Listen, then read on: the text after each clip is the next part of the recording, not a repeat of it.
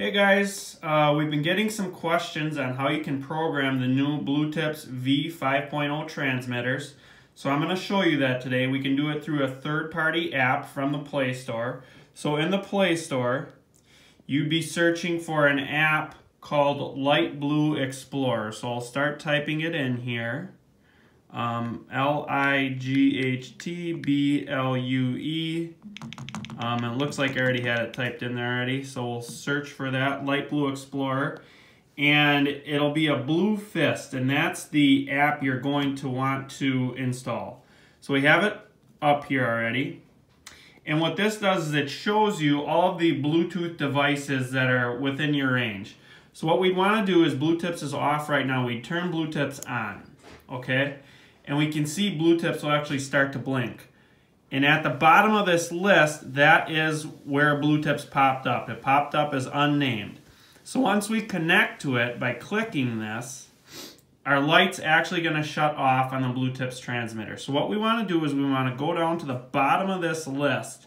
And these values here are what we can program. So we'd click on this arrow.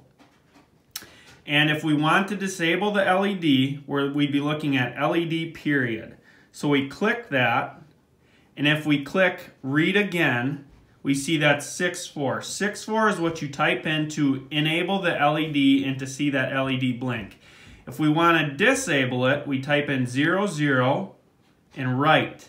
Now we can read again, and you can see that 00 has been, um, has been input there. If we want to get back to um, blinking with the LED, we change that back to 6.4, and that's what we're going to do. So we write that, we can read again, and then we see that 6.4 popped up at the top there. So that's how you change the LED um, settings on the BlueTipz transmitter. The other ones, trigger values, transmit duration, debounce, and transmit power.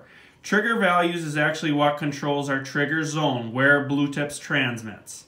Um, so 45 to 90 degrees is a standard tip up.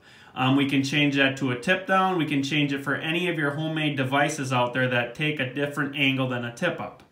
Transmit duration is set right now to two seconds. So if you go in here, you'll see 0200.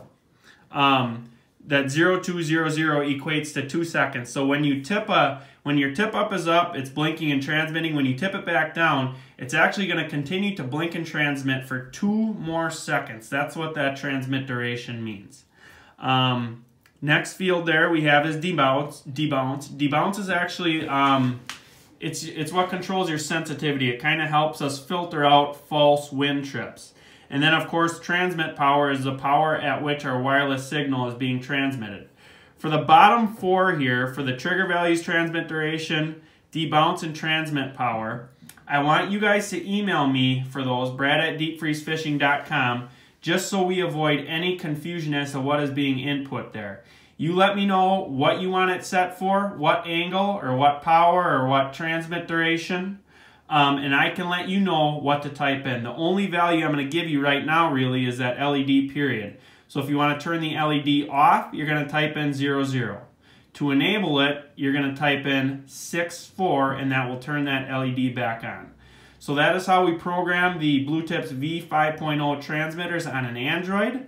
Um, if you guys have any questions, you can reach out to me at brad at deepfreezefishing.com. Thanks.